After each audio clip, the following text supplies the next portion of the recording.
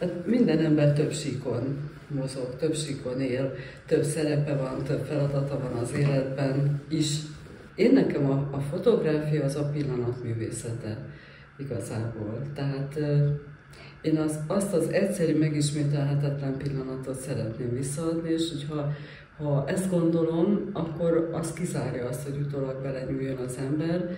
Ugyanakkor a képeim jelentős része az ilyen úgynevezett festményfotó, tehát ö, olyan, mintha amit, amit ecsettel festenék, ha tudnék festeni. De utólag nem nyúlok bele, mert az valahol csalásnak érzem. Pontosan így van. Tehát bármit csinálok, bármilyen tevékenységet végzek, bárhol járok, ott, ha észreveszek valamit, ezért, ezért a, a telefon a, a munkaeszköz, mert az mindig ott van. Miért van az, hogy így 14 után gyorsult föl az a folyamat, hogy, hogy többet fényképezek, és valószínűleg ezért, mert amikor még analóg filmet használtunk, analóg géppel dolgoztunk, akkor sokkal limitáltabbak voltak a lehetőségeink.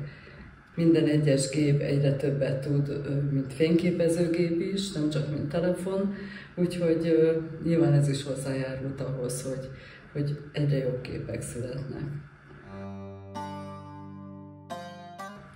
Nem.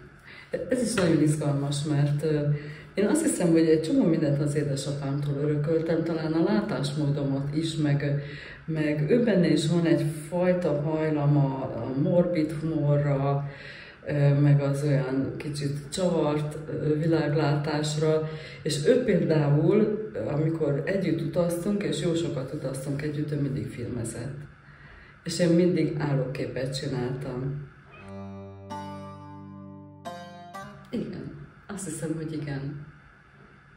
És a szépség tulajdonképpen az egyediségét az adja, hogy én nekem a, talán nekem más, más a szépség, mint egy, mint egy másik embernek, vagy az emberek többségének.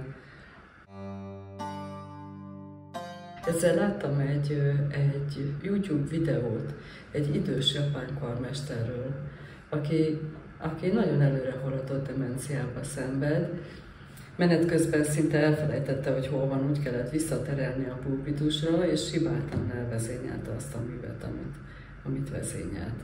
Szóval a, a, a zenének is van elképesztő ereje van.